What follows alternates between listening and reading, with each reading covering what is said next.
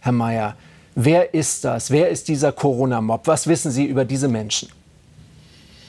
Ja, erstmal ähm, ist natürlich das sehr stark zu kritisieren, dass sich jetzt in diesen Zeiten dort über 1000 Menschen versammelt haben. Das ist rechtswidrig. Ja, es gibt zwar eine Möglichkeit zu demonstrieren, im begrenzten Rahmen, 35 Teilnehmer mit Abstand und so weiter und so fort. Wissen die Menschen auch. Wer dort aufgetreten ist, auch aggressiv aufgetreten ist, das ist eine Mischung, würde ich mal sagen. Nach unserem Kenntnisstand sind es Rechtsextremisten, gerade auch in Greiz.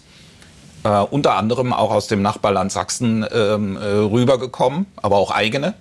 Äh, es sind Querdenker darunter, radikalisierte Impfgegner. Also es ist so eine Mischung, die ist halt ähm, sehr kritisch zu beurteilen. Wer ist das eigentlich? Wer sind eigentlich Querdenker? Was verstehen Sie als Innenminister darunter? Naja, das ist jetzt ein Überbegriff. Ja? ja. Darunter sind verschiedene Gruppen die sich ähm, dann unter dieser Bewegung gesammelt haben. Äh, anfangs waren es tatsächlich Menschen, die Sorgen hatten um, sag ich mal, den eigenen Betrieb und so weiter und so fort. Völlig legitim. Aber diese Bewegung hat sich ganz klar radikalisiert. Wir wissen auch, die äh, Zusammenarbeit zum Beispiel mit Reichsbürgern ist sehr eng. Da gab es Treffen mhm. von Führungsleuten, die sich da miteinander ähm, strategisch ausgetauscht haben und so weiter und so fort. Es sind die Impfgegner darunter. Also es ist eine in Anführungszeichen bunte Mischung, die aber äh, aus unserer Sicht sehr, äh, sehr äh, gefährlich ist. Hier sind in diesem Fall in Greiz sind Flaschen geflogen auf Polizisten. Hier wurde geprügelt eben. Hier ist Pyrotechnik zum Einsatz gekommen. Fackeln wieder, die wir sehen, um das Ganze noch massiver wirken zu lassen. Das, was wir eben kurz vorher auch in Sachsen gesehen haben, das sehen wir in vielen Teilen Deutschlands aktuell. Nordrhein-Westfalens Innenminister Herbert Reul bei uns. Kommen diese Menschen nach Ihren Beobachtungen aus der Mitte der Gesellschaft? Na, sie kommen aus mehreren Teilen der Gesellschaft.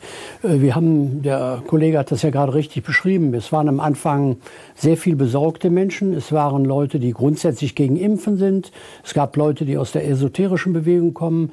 Und immer mehr ist das übergeschwappt in den rechtsextremistischen Bereich. Wir können heute feststellen, dass Rechtsextremisten diese Bewegung, diese Unruhe, diesen Ärger von Menschen missbrauchen für ihre Zwecke.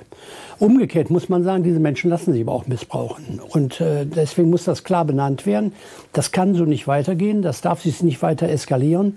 Wir merken, dass immer mehr von denen, die da unterwegs sind, sich gar nicht mehr mit dem Impfen beschäftigen, sondern mehr demokratiefeindliche Töne sind, verfassungswidrige Töne dabei sind, Sprache austauscht, die, die viel zu tun hat mit dem, was Auram Bokubala in dem rechtsextremen Bereich auftaucht. Also das macht mir große Sorgen, weil das sich immer weiter entwickelt und manchmal habe ich den Eindruck, egal was der anders ist, die gehen zusammen auf die Straße, um ihren Missmut gegen den Staat zu artikulieren. Ja, und der ist ja zunehmend auch gewalttätig. Frau Leuthauser-Schnarrenberger, macht Ihnen das Angst, was da gerade irgendwie brodelt, diese komische Menge, die gerade Herr Reul und Herr Mayer versucht haben zu beschreiben, zu identifizieren? Macht Ihnen das Angst, diese auch zunehmende Gewaltbereitschaft? Also es zeigt auf alle Fälle, dass äh, doch mehr Bürgerinnen und Bürger sagen, sie wollen das sich nicht gefallen lassen, was hier Regierungen, Bund und Landesebene entscheiden. Sie wenden sich, wie eben Herr Reul richtig sagte, gegen den Staat. Da haben sie eine Einheit, obwohl wir alle der Staat sind, wo sie ihre Wut ablassen können.